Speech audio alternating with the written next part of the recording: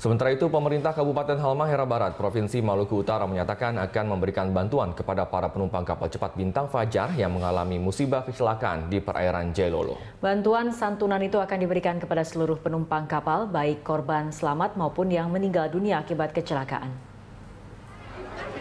Bupati Halmahera Barat Dani Misi bersama Gubernur Maluku Utara Abdul Ghani Kasuba saat mengunjungi korban kecelakaan kapal cepat di Rumah Sakit Jailolo menegaskan bantuan berupa santunan itu akan diberikan secepat mungkin.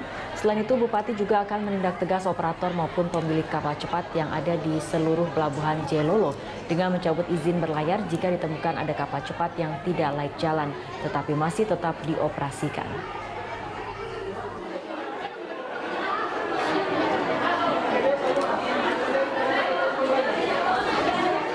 Apakah ada pemberian bantuan dari pemerintah, Pak? Ada. Ini Untuk sepenuhnya. para korban Sepenuhnya.